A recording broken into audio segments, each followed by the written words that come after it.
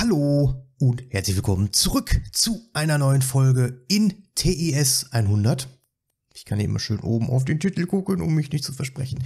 Äh, ja, im letzten Video äh, Sequence Generator haben wir uns da angeguckt und gelöst irgendwie. Diesmal äh, geht es in den Sequence Counter. Und äh, ich glaube tatsächlich das. Ne, warte mal, wo war ich? Ne, hier war ich, glaube ich, das letzte. Also wir nähern uns dem Punkt, wo ich persönlich auch aufgegeben habe, äh, weil ich dann die anderen Sektronics-Spiele auch alle mal spielen wollte.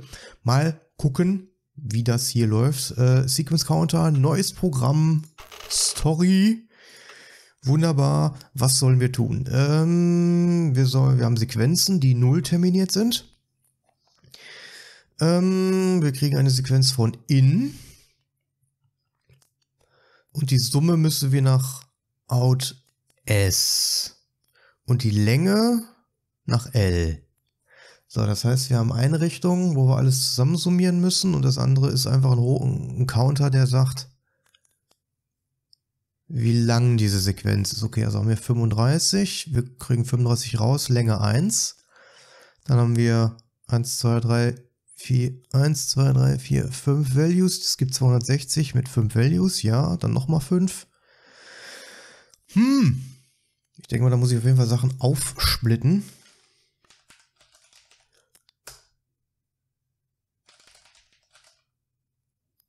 Ähm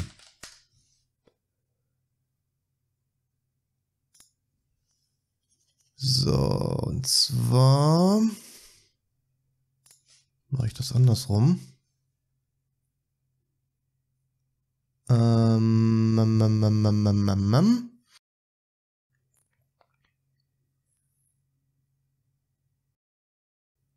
Ich überlege, glaube ich, schon wieder zu kompliziert, aber das macht nichts. Äh, ich überlege.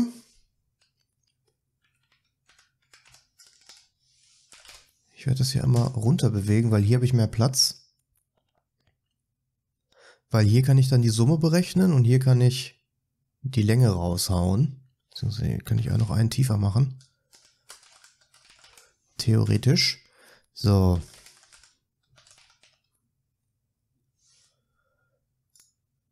Äh, hier sagen wir dann S äh, Move 0 Ack. Ich mach's mit, mit Komma.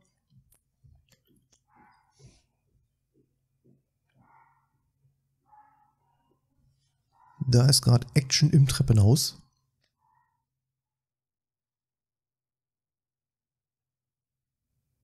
Naja.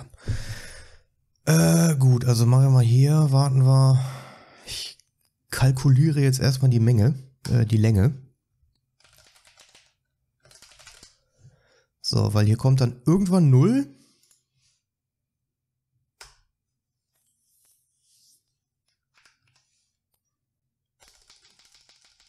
Beziehungsweise das kann ich...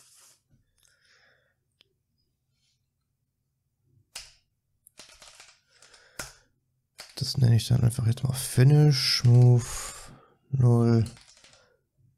Ne, move down, move 0 arc. Dann sind wir nämlich fertig und dann geht's wieder rauf, ne? Ähm, mm, mm. mm.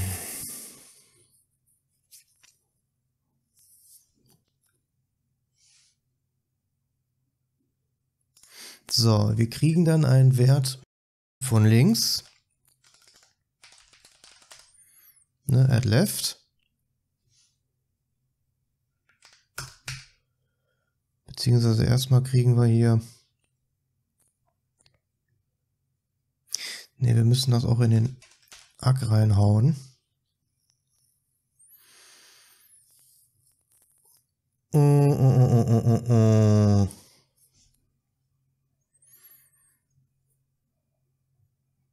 das heißt, wir kriegen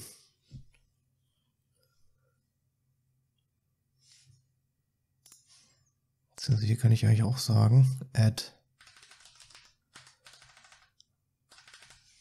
add up. Nee, das können wir so nicht machen. Oh, Mama, Mama.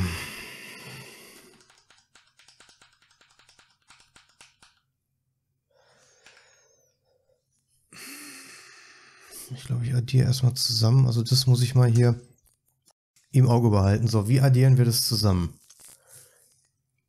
Weil ich muss die Sachen auch prüfen. Ich muss ja prüfen, ob da irgendwo eine 0 kommt. Und wenn nämlich die 0 kommt, muss ich nämlich das, was in Ack steht, runterschmeißen. So, wir kriegen auf jeden Fall einen Wert. Der ist da.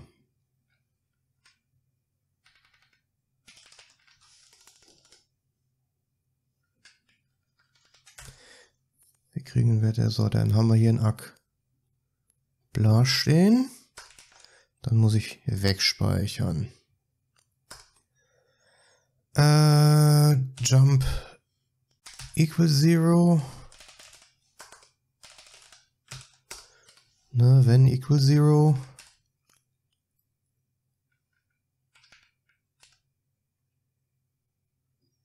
Also wir müssen mindestens einmal sagen add up und dann save.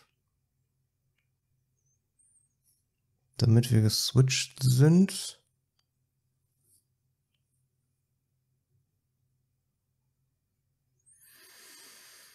Hm. Beziehungsweise mache ich hier auch so ein Counter-Ding einfach.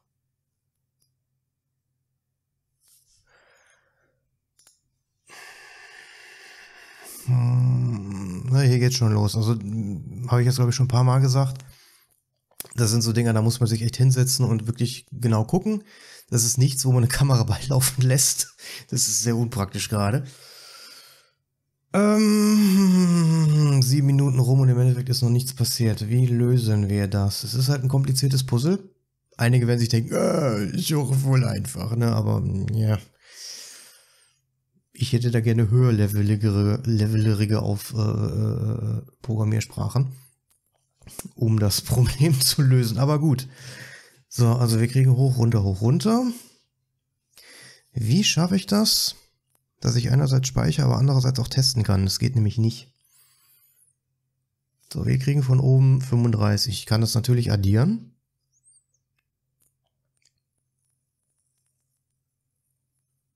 Aber ich muss den oberen Wert auf jeden Fall in Akt drin haben.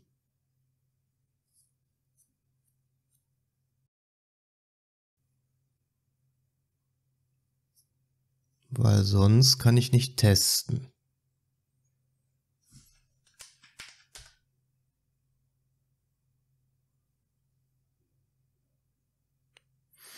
Das Problem ist, der Wert von oben ist schon weg. Das heißt, hier haben wir jetzt irgendwie so ein, ein Adder.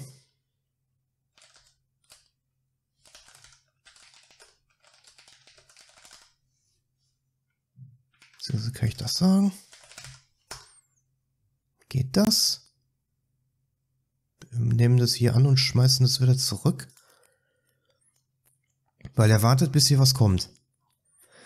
So, das heißt, wir sagen Move up, Pack. Dann kann ich nämlich sagen, ist das 0, dann finishen wir ja.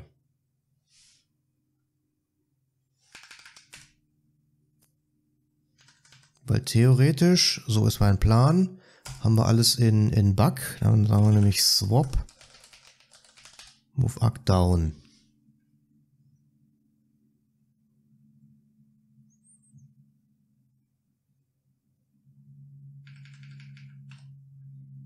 So, dann geht es nämlich hier wieder rauf und wir holen uns das nächste Teil, was dann eine nächste, die, die, die nächste Generation ist. So, wenn wir, wenn wir, wenn, so, wenn es nicht 0 ist, dann haben wir halt einen bestimmten Wert, dann sagen wir move left swap, was auch immer in Ack steht, ist jetzt so ein Bug ist 0, initial 0.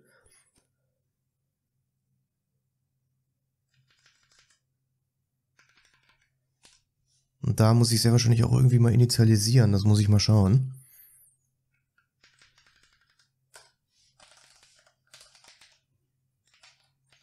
Eventuell muss ich auch saven, ich weiß es nicht. Doch, ich muss saven. Sonst kommen wir nämlich hier nicht auf den grünen Zweig. Ähm, also dann sage ich hier Swap. Das heißt, den Wert, den wir akkumulieren wollen, der ist anfangs 0. ist jetzt oben in Arc und jetzt können wir nämlich sagen add left. Und dann geht's weiter.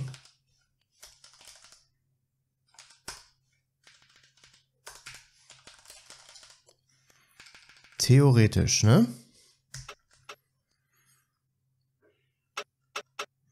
So, wir kriegen 35. Es ist nicht 0.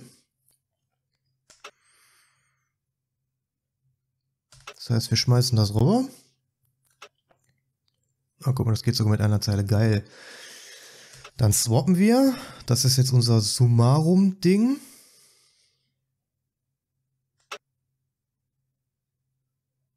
Beziehungsweise hier muss ich auch nochmal sagen. Swap, weil die Summe möchten wir behalten, wenn der nächste Wert kommt. So, jetzt haben wir hier nämlich unsere Summe in Bug stehen. Jetzt kommt 0, wir sind finished. Dann swappen wir wieder zurück. Wir bewegen das, was hier drin ist, raus.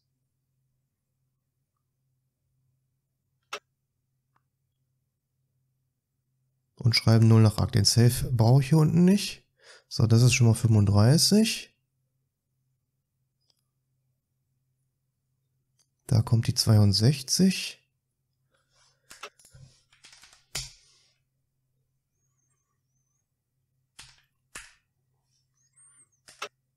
dann jetzt immer bis hier hin. Jetzt haben wir hier die 35. Jetzt kommt hier von oben die 62. Ich gucke jetzt erstmal, ob die Zeile hier funktioniert. So, 62. Schmeißen das rüber. Summe 62. Swap Start. Dann kommt die 51. 62 plus 51. Und so weiter. 260. 279. Ich gucke jetzt hier. 0 funktioniert auch. Sehr schön. So. Grundsätzlich haben wir das jetzt. Und das gleiche müssen wir hier auch machen. Mm, mm, mm, Bis auf den Unterschied, dass wir halt hier hochzählen müssen. Das heißt, move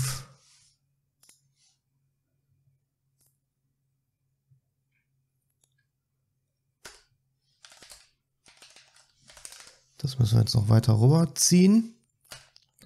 Äh, left arc. So. Beziehungsweise ich kann auch sagen, move up. Ich kann das hier verteilen.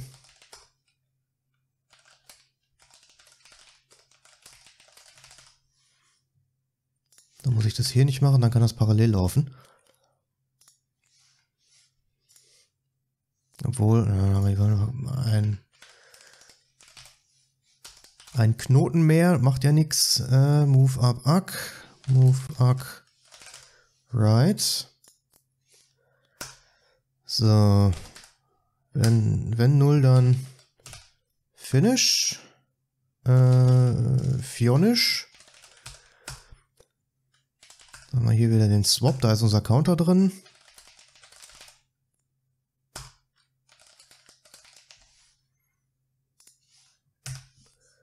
Und so weiter. Beziehungsweise das brauche ich eigentlich auch nicht. Weil wir schreiben ja das nächste in Ack. Und Ack ist ja 0, weil wir geswappt haben. Das heißt, das kann ich mir sparen. So. Äh, wenn wir nicht 0 sind, dann haben wir von links irgendwas bekommen. Dann sagen wir swap add 1 swap. Jump Start. Klingt nach dem Plan. So, da kommt raus jetzt 1.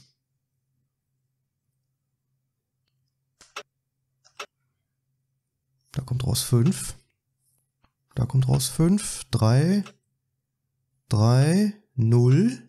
1. Ich glaube, wir haben es. Super. Das ist ja geil. In 15 Minuten haben wir das super gelöst hier.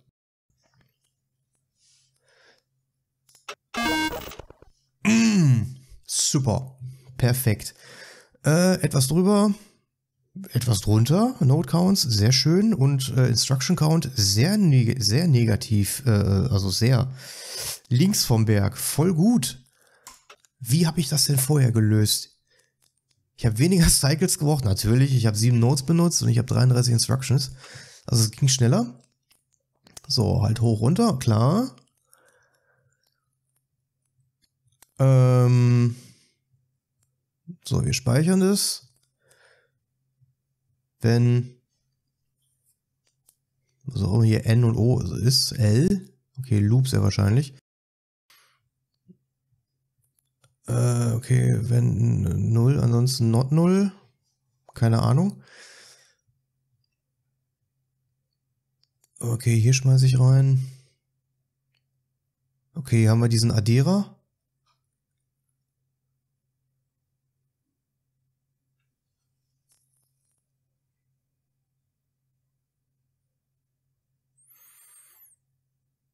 Ah, okay, ich hole mir die erste Zahl aus der Sequenz, guck, ob die 0 ist. Hau den hier zwischen rein, hau die 1, hau eine 1 hier rüber. Das heißt, das Zählen mache ich hier wirklich über, ich schicke einfach Einsen rüber. Und das geht schneller. Okay. Ja gut, zumindest habe ich weniger Instruktionen. Ach, guck mal, hier ist nämlich auch noch so ein Teil. Das könnte ich sogar noch einsparen jetzt mit meinem Move, Move Right, Right und Move Left, Left. Haben wir eine Zeile weniger, weniger Instructions. Ähm, was mache ich denn dann? Dann prüfe ich nochmal. Achso, wir gucken, ob hier die initiale Null kommt. Ja gut, das kann ich mir mit meiner Lösung sparen. Dann holt er sich den nächsten, weil wir kriegen ja mindestens eine eigentlich. Außer wir sind Null und dann geht er direkt, direkt raus. Ne, dann kriegen wir nämlich Null, Move Null down, Move Null right. Oh, dann mal hier Null-Check oder was, na egal. Dann addieren wir das, was wir haben, zurück. Dann schmeiße ich, ah, ich speichere die aktuelle Summe auch hier zwischen und mache hier nicht mit Swap. Dann schmeiße ich wieder eine 1 rüber, dann mache ich den Loop, bis eine 0 kommt. Da sind wir dann hier und nicht hier unten, weil hier unten ist das Initial 0. Und dann schmeiße ich das, was links ist, runter, weil das ist die fertige Summe. Und die 0 schmeiße ich hier rüber, damit hier sehr wahrscheinlich was abgebrochen wird und dann gehe ich nach oben. Ja. Scheint besser zu laufen. Scheint auf jeden Fall schneller zu laufen. Ja gut, sehr wahrscheinlich, weil ich die ganzen Swap-Befehle nicht habe und weil, weil er hier ein bisschen läuft. Hm. Gucken wir mal. Äh, ja, das nächste äh, ist ein Signal Edge Detektor und äh, ja, ich denke mal, wir sehen uns dann hoffentlich da wieder. Ich, ich denke mal und hoffentlich auch so zwei Unterschiede, sehr schön. Äh, ja, wir sehen uns definitiv da wieder, äh, die, die ich sehe. Also ihr seht mich, ich sehe euch leider gar nicht. Äh, ja, vielen Dank fürs Zuschauen. Bis dahin. Ciao.